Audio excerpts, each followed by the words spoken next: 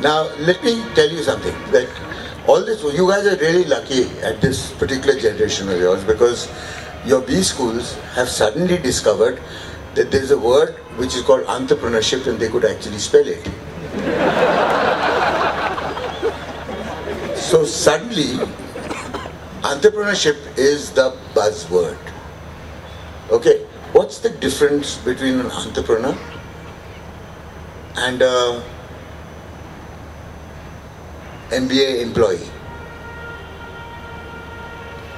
See, when you do an MBA and your whole life is uh, designed around a package, okay, and all you're looking for is that campus placement where um, some suited booted type comes and turns around and looks at you eagle-eyed and says, I'm going to give you a job and this is your package and then you compare your package with not only with your friends but also with I am Ahmedabad, I am this, uh, what do you call Hyderabad, etc. and you realize that your package is really frugal.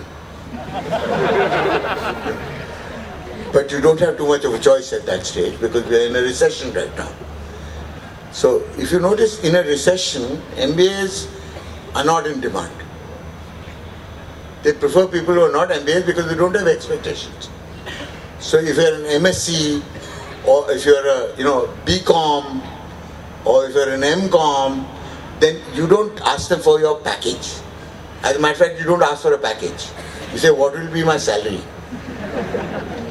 Okay, salary is what you get at the end of the month. The package is what you get after five years.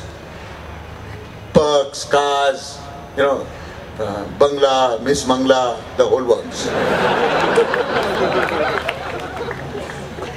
so everybody starts planning their lives from their first year in MBA. Actually start planning life. After two years I'm going to be this, then I'm going to get promoted, then I'm going to do specialized, then I'm going to be here, then this is going to be my package, and uh, this is the kind of place that I want to live in, and I'm going to move from Ghaziabad to Delhi. Definitely. Maybe not Lutyens Delhi, but uh, uh, eventually, yes, even Lutyens Delhi. That's when I get married to some very richy rich politician's daughter who's, who's uh, not so good looking. Okay, these are all the practical things of life. So you start planning all this at a very early age and you think it's a part of your MBA. It is planning for the future is very definitely a part of your MBA. But one thing you guys forget about, you know, what is it in life that makes life worth living?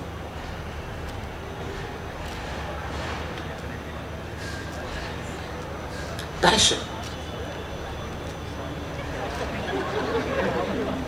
Passion. I find most people who join with a large package passionately look at the clock for it to be 6 o'clock.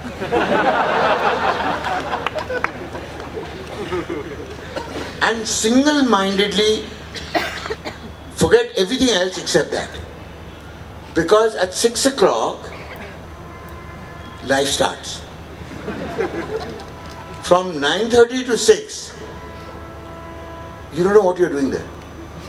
So you design t-shirts for yourself. I hate Mondays. You know, and everybody wears it on a Sunday night. So you wake up with this black t-shirt with white lettering saying, I hate Mondays. So you get up and you think of your boss, of your office, of your job, and you groan and you want to go back to sleep. It's like good old college days again. You know, where you get up and say, I'm going to bunk now and go back to sleep.